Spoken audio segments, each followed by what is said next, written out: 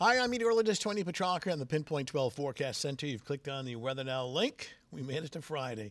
And finally, some sunshine. Boy, it took a, a long time again today, better part of the day, you know, the morning with clouds. And then finally, here we are. What time is it? About 3.30. Sunshine breaking through. Uh, real pretty down in Newport. It's cool. Uh, but you know, we'll take the dry weather. Got a mix of clouds and sunshine here. Looking at uh, downtown Providence. Let's go to New Bedford uh, with sparkling sunshine now and temperatures that are in the upper 50s to around 60. Now, we should be about 65, 66 this time of year, so we are running cooler than average, but we'll take a dry day any day considering how wet it's been the last several months. All right, so dry, chilly tonight. Now, chilly may be a strong word, but late at night, um, you know, after midnight towards daybreak, it'll actually get down into the mid 40s. So if you're out late tonight, uh, we'll, yeah, we'll call it chilly. Let me grab a light coat, but otherwise, you don't need an umbrella. You're heading out for your Friday night. Saturday still looks good.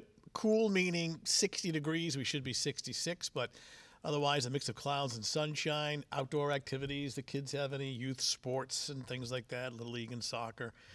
Uh, outdoor activities look good. On Saturday night is dry. Still going with showers on Sunday. Been trying to nail down the timing. A lot of our computer guidance is suggesting that we, we start off dry in the morning the showers wait until later in the afternoon, but it's a much cooler day, uh, only like 55 degrees. There'll be a good deal of clouds as well. In fact, the average high for this time of year is 66. And, you know, we're, you know, below that over the next few days. In fact, well below that on Sunday, a cool day, and then nice uh, warming trend here early uh, next week. back both Monday and Tuesday will feature temperatures in the 70s. Here's a satellite loop. It's a high resolution satellite loop. It'll last several hours. You can clearly see the, the clouds diminishing with uh, more in the way of sun. So we take a look at the forecast. Now, this is starting at 7 o'clock this evening.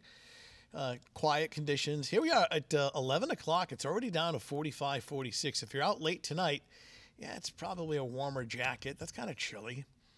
Uh, move ahead now to 7 o'clock Saturday morning. It's a very cool start at 46 and a cloud sun mixture uh, developing uh, 55 at 10 a.m.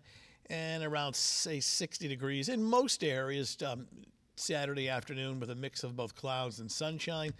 We'll stay dry. Here we are, 6 o'clock in the evening, cool, mid 50s, and we'll call it partly cloudy. And your Saturday night, the clouds are a little thicker, uh, but it's dry, so not anticipating any precipitation. Here's kind of a snapshot of what the high temps will look like around, say, 3 o'clock Saturday afternoon with a mix of clouds and sun.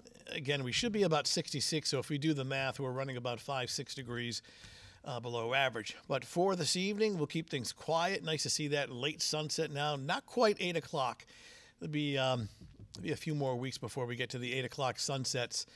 Uh, cool, in fact, very cool by 11 o'clock. And we jump ahead to Saturday morning.